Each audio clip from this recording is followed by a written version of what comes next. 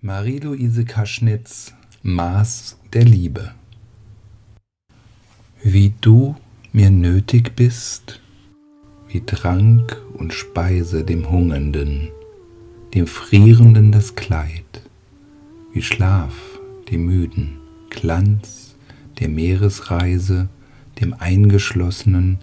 der nach Freiheit schreit. So lieb ich dich wie dieser Erde Gaben, Salz, Brot und Wein und Licht und Windeswehen, die, ob wir sie auch bitter nötig haben, sich doch nicht alle Zeit von selbst verstehen. Und tiefer noch, denn auch die ungewissen und fernen Mächte, die man Gott genannt, sie drangen mir zu Herzen mit den Küssen den Worten deines Mundes und die Blüte irdischer Liebe nahm ich mir zum Pfand